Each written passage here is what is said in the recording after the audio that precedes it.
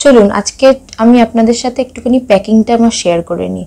কালকে আমরা যাব একটা স্টেকেশনে একটা রিসর্টে মাহিকাকে নিয়ে। তাই মাহিকার জন্য কি কি আমি প্যাক করলাম? মানে একটা বেবির জন্য আপনি কি কি প্যাক করবেন? তার একটা জিস্ট আপনাদের সাথে শেয়ার করে নিচ্ছি। প্রথমেই হচ্ছে, যেহেতু প্রচণ্ড গরম, তাই সামার ফ্রেন্ডলি কিছু জামা কাপড় নিয়ে নিয়েছি। একটু এক্সট্রা অ্যামাউন্টে জামা কাপড় নিয়েছি। তাও একদিনের জন্য হলেও একটু এক্সট্রা অ্যামাউন্টে জামা কাপড় নিয়ে নিয়েছি। এসিও জন্য প্লাস নন এসি আউটডোরের জন্য সব কিছুর জন্য। নিয়েছি তারপর একটা ছোট ট্র্যাভেল কিট এইটার মধ্যে আমার আছে। বডি ওয়াশ থেকে শুরু করে, তেল থেকে শুরু করে ক্রিম লোশন চারটে জিনিসই থাকে এটার মধ্যে। এই কিটটা আমার জন্য খুব হেল্পফুল নেক্সট ওর এসেনশিয়ালস যত মেডিসিনস সেই মেডিসিনসগুলো আমি এইটাতে পাউচ আপ করে নেব। নেক্সট তো একটা ছোট্ট হাঁটতে শিখেছে, তাই একটা চপ্পল। আর মস্কিটো রেপেলেন্টের জন্য নিয়েছি আমি এটা মাদার স্পার্শের এটা কি হয়? এটা মস্কিটো যদি কামড়ে দেয় বা কোনো ইনসেক্ট কামড়ে দিলে আফটার দিলে আফটার ইনসেক্ট বাইট এটা খুব ভালো কাজ করে। মানে বাচ্চার সেভাবে কোনো লাল রেডনেস বা এগুলো কমে যায়। নেক্সট আমি ওডোমাস নিয়েছি, খুব একটা ব্যবহার করি না বাট মশা যদি প্রচণ্ড থাকে সেই কারণে। এটা হচ্ছে মাদার স্পার্শের একটা roll on fabric roll on এটা আমি যদি ওই জামা কাপড়ে দিয়ে দিই, তাহলেও দেখেছি মশার উপদ্রবটা একটু কম হয়।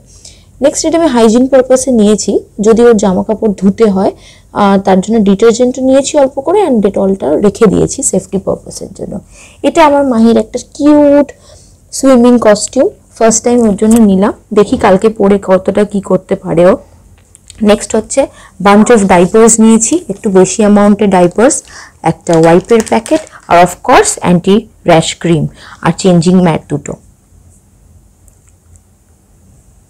এইবারে নিয়েছি কিছু ওর বেড টাইমের ফেভারিট টয় যেগুলো ছাড়াও জেনারেলি ঘুমোতে চায় না। বাই চান্স যদি হোটেলে গিয়ে প্রবলেম করে, তাই জন্য একটা কমফোর্টার এসির জন্য। আর ওর যে স্লিপিং ব্যাগটা ছিল, ওটাকে আমি বেড হিসেবে ব্যবহার করি, বাইরে কোথাও গেলে। তো সেইটা ক্যারি করছি। নেক্সট নিচ্ছি আমি একটা হুডের টাওয়েল যেহেতু সুইমিং পুলে নামাবো বা স্নানের পরে ওটা টাওয়েলের জন্য আমি এই হুডের টাওয়েলটা নিয়েছি। ওর হেয়ার অ্যাক্সেসরিজ ওর চিরুনি, ওর ক্লিপস ব্যান্ডস এক্সেট্রা এই পাউচটার মধ্যে পাউচ আপ করে নিয়েছি। এইবারে আসছি ওর ফুডসে ফুডসের মধ্যে আমি সবে বেশিরভাগ প্যাকিং করে নিয়েছি।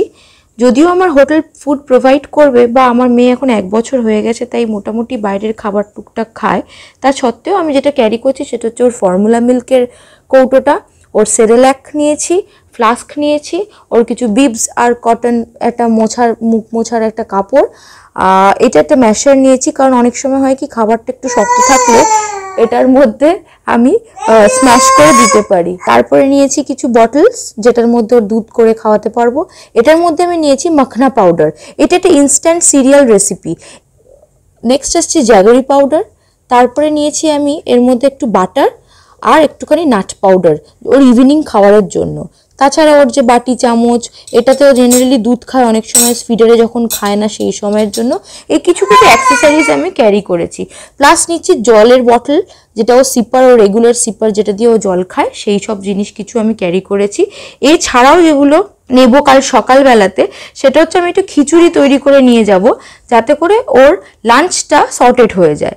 তারপরে বাকি এদিক ওদিক সেরেল্যাক দুধ অথবা ওখান থেকে কিছু খাবার পেলে সেগুলো নিয়ে আমি ওকে খাইয়ে রাখব। আশা করি আপনাদের ভিডিওটা হেল্পফুল লেগেছে। হেল্পফুল লাগলে please like share comment subscribe করতে ভুলবেন না। অ্যান্ড হ্যাঁ স্টেকেশনের প্রত্যেকটা আপডেট আপনাদের সাথে শেয়ার করব। কোথায় যাচ্ছি, কি খরচা, কি বৃত্তান্ত সব কিছু আশা করি আপনাদের ভিডিওটা ভালো লাগল। আরও যদি কিছু টিপস ট্রিক্স থাকে, আমি আপকামিং ভিডিওজে সেটা শেয়ার করতে থাকব।